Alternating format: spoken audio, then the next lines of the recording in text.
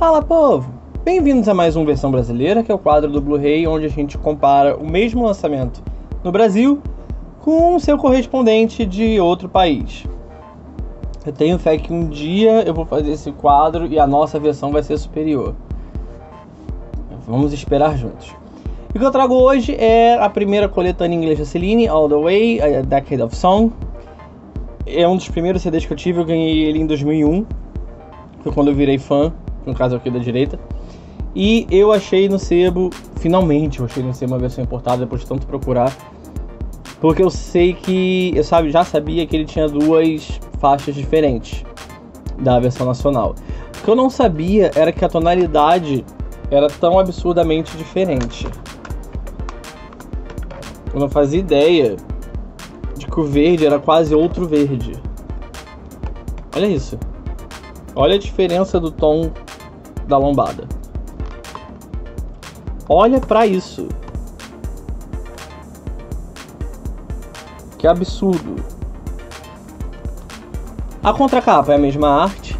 Gente, eu queria aproveitar rapidinho e lembrar que o versão brasileira ele compara a mesma edição de lugares diferentes. Porque teve gente reclamando no vídeo do filme Fatal da Britney que eu deveria ter comparado o de papel lá de fora com o de papel do Brasil. Só que ali era comparar Deluxe com Standard, eu não ia fazer isso. Lá eu comparei Deluxe com Deluxe. A nossa Deluxe era de um formato, lá de fora era outro, paciência. A versão, a edição é a mesma. Então no caso do, All The Way só teve um, então é ela que a gente vai comparar. A arte é a mesma. De novo dá pra notar a diferença absurda da tonalidade. E o posicionamento é um pouquinho né, diferente, né? O, o, a, o importado, ele é ele é americano. O americano ele é um pouquinho mais para baixo, né? Aqui tem um pouquinho de texto mais para cima. Tem uma coisa que o brasileiro fez que eu gostei mais, que foi botar o logotipo aqui embaixo. Né? Eu não, não vi necessidade de botar esse logo da gravadora aqui no canto em cima dela. Até porque isso aqui caberia para cá, caberia aqui em cima do, do código de barras, caberia embaixo do código de barras. Dava para ter colocado pra cá, sem ter botado em cima da foto dela. Bom, ele tem duas partes, ele é dividido em músicas de coletânea e álbum novo, são sete músicas inéditas. As músicas novas são as mesmas, That's the Way It Is, If Was Could Talk, The First Time I Ever Saw Your Face, All the Way com Frank Sinatra, Then You Look At Me, I Want You To Need Me. E gente, olha que lindo, finalmente tenho um CD com o nome da música certo, Live For The One I Love. Lindo, paixão, maravilhoso. Mas aqui em cima muda um pouquinho. Primeiro que tá escrito Radio Edit in The Power of Love e To Love You More. Aqui não tá escrito nada. Inclusive não tá escrito Radio Edit em It's All Coming Back to Me Now, mesmo que seja. Eu ainda não botei pra ouvir. É, eu queria ter conferido, mas eu não consegui ainda conferir se a duração das faixas é a mesma, mas eu acho que é. Bom, ele tem, eles abrem ambos com The Power of Love. De The Power of Love, a gente vai pra Beauty and the Beast, no brasileiro. A faixa 2 aqui é If You Asked Me To. If You Asked Me To não tá no, no nacional. A faixa 3 é Beauty and the Beast americano, que aí a gente vem pra onde era 2. Beauty and the Beast, Because You Loved Me, It's All Coming Back to Me Now. Beauty and the Beast, Because You Loved Me, It's All Coming Back to Me Now, vai igual. Só que aí a gente vai pra Love Can Move Mountains no americano, que também não tem no nacional. Então as faixas que a gente tem aqui nos Estados Unidos não tem no Brasil era If You Ask Me To e Love Can Move Mountains. Só que aí a gente vem no nacional para as duas músicas que não estão no americano, All By Myself e Immortality. Dali a gente vai para To Love You More, com faixa 7, faixa 8 My Heart To Go On e faixa 9 I'm Your Angel, duet com R. Kelly, isso antes dele ter sido preso. Né? Por dentro, a gente tem essa imagem dessas, desse lago. A mesma imagem, só que aqui em CEP, aqui em verde. E por dentro do americano a gente tem a mesma coisa. O americano tem um pouquinho de texto demais. É, o nacional tem só os sites, catálogo e logo da gravadora.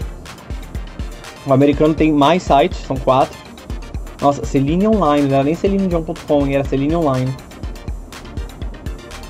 E a, a, enquanto o brasileiro era só sonymusic.com.br, a gente tem três gravadores, né? Aqui é 550 Music, Epic Records e Sony.com.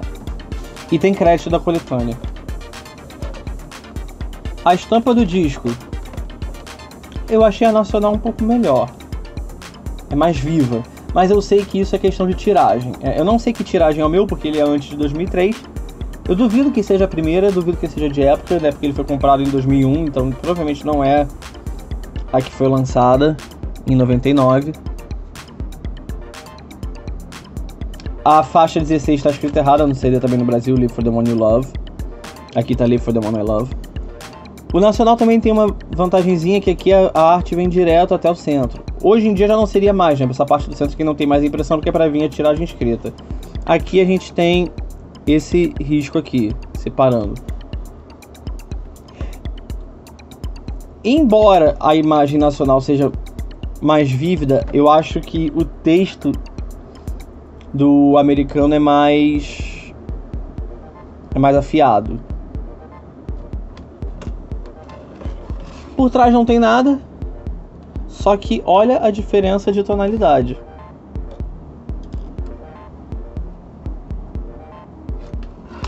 Olha a diferença de verde. espero muito que dê pra ver, porque. Tá, dá, dá, dá, pra ver sim. É uma diferença absurda o tom de verde essa etiquetinha em cima, né, Celine All The Way, isso que eu queria comentar com vocês, porque em pleno 2022, tantos anos depois de lançado, esse CD estava fechado. Né, eu esqueci de mostrar, ele tem etiqueta, né, Greatest Hits, plus 7 new songs, That's The Way It Is. Aqui já estava danificado, uma pena. Mas essa etiqueta aqui, ela estava perfeitamente intacta, colada em cima, ele não tinha sido aberto ainda. Eu que abri ele ontem. Então foi um senhor do achado. E olha o estado perfeito dessa mídia. Oi. Olha como nunca foi tocado. Eu tô doido pra ouvir.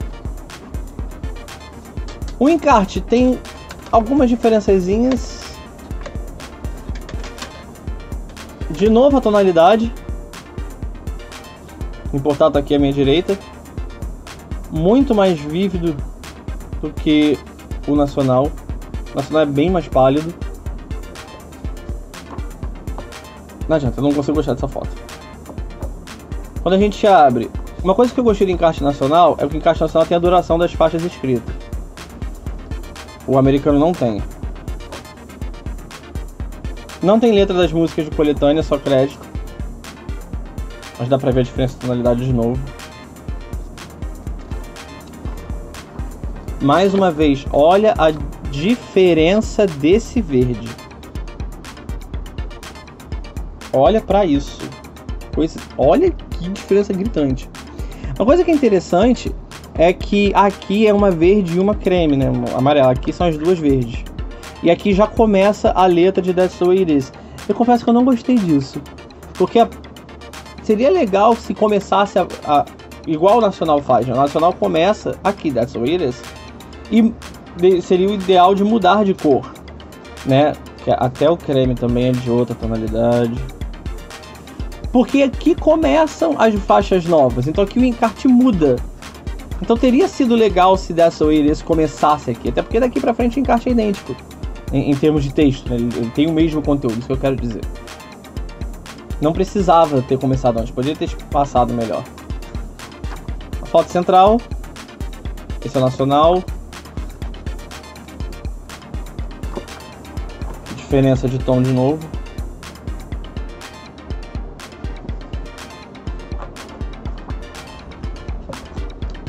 Aí volta pra cá aquela ideia de verde pra coletânea, creme pra inédito vai pro espaço, porque a, página volta a ser verde. De novo essa diferença de tonalidade gritante. E volta a ser creme. Ah, entendi. O nacional foi feito errado então. Porque. Ok, preto cada foto, mas verde, creme. Verde, creme, verde. Ah, tá. Entendi. O nosso ficou preto cada foto. Verde com creme, creme, verde, e verde com creme. Pior que não é nem a mesma folha, né? A folha foi feita realmente com duas cores. Entendi. Alguém quis mudar. E no final eles acabam juntos, tá vendo? No final de Live for the One I Love. Porque quando vira, a gente só tem, nesse verde diferente de novo, os créditos do álbum. Mesmo conteúdo. O bom é que não tem como confundir, não tem como errar quem é quem, né? Tô feliz. Finalmente eu consegui uma versão importada. Né? Eu fico pensando, será que um dia eu vou conseguir importado de todos eles? Ó, o Unison já tem, Dion Champamondon já tem, Celine Dion já tem, My Love já tem. A Olympia só tem importado, que não lançou no Brasil. Então Rafa Pipoca não lançou. The French Album já tem, Fallen Chill já tem. O Live Paris ainda não tem. Bom, o DVD é importado, o CD não é. Let's Talk About Love eu tenho, Se Suficiente tem. These Are Special Times tem, All The Way agora tem. The Collector Series só tem nacional. A New Day Has Come. Bom, Live at Paris, The Collector Series. A New Day Has Come tem, One Heart só tem nacional. E um filho. Um filho. Conta com vinil? Não, não conta, né? Então não tem um filho. A New Days, dois são nacionais, Miracle tem importado, Taking Chances tem importado, My Love também, Taking Chances Tour também, Live Best Life também, Oklahoma Spot também. Então, faltam cinco lançamentos para eu ter a coleção inteira da Celine e, e ter importado. Galera, espero que vocês tenham gostado.